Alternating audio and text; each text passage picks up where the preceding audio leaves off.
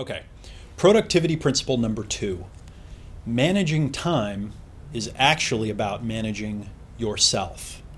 One of my favorite quotes that I've ever heard about time management is uh, actually something that argues with time management, and it's a quote from Stephen Covey, and it goes like this Stephen Covey says, Time management is a misnomer. The challenge is to manage ourselves.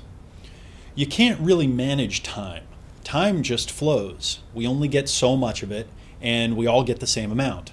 Whereas ourselves, that's a completely different story. When you try to manage time, you're trying to manage something that you really have no control of. It's really a self torture uh, method, right? If, uh, if you say, I want to manage my time better, you're not really talking about managing your time. So when you go try, it's going to be elusive and it's going to be very frustrating.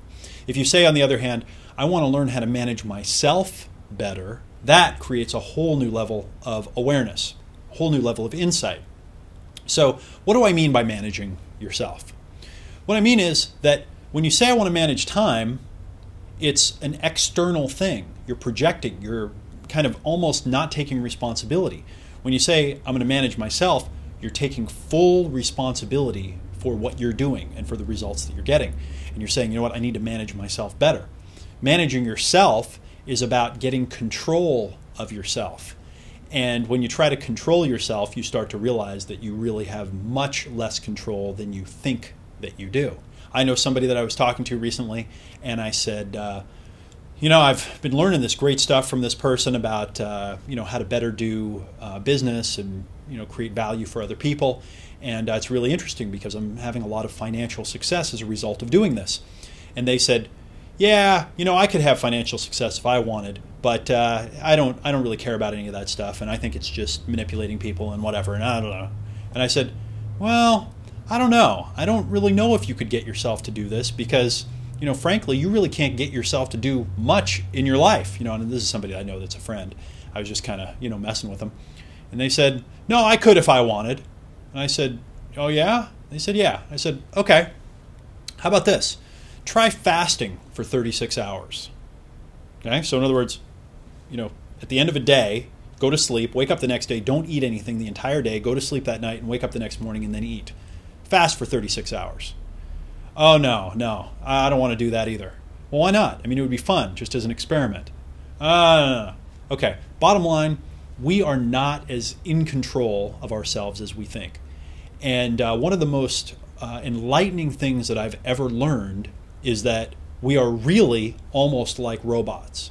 That we wake up every day, we do the exact same things, we think the same thoughts, we feel the same emotions, we go through the same movements, and we're just laying this, it's like laying pavement over pavement over pavement, and we get to the point where we can't do anything different.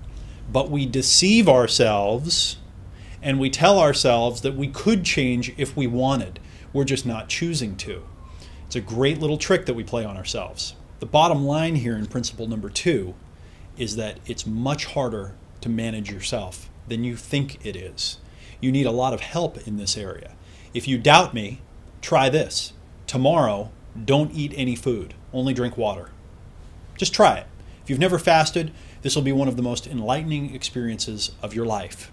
For the first few hours, you'll, you'll feel good about it. You'll be like, ah, I got this handled. You start getting into the afternoon, your stomach starts uh, churning, your blood sugar gets low, you'll be saying, Oh, I don't know if this is the right thing. Then late in the afternoon, early evening, something scary will happen. Your mind will take over and it'll start saying things to you like, Is this healthy? Maybe this isn't good. Maybe I should look up and see if anyone's ever died from this. I, I don't know. I, I, don't know if this is good. And you'll realize you're totally out of control. And it'll just be because you skipped a couple of meals. Now, the good news is that there are ways to learn to manage yourself better. There are ways to get yourself under control. There are techniques you can use, and I'm going to teach you some of those. But it's very important that you realize that this is about managing yourself, it's not about managing time.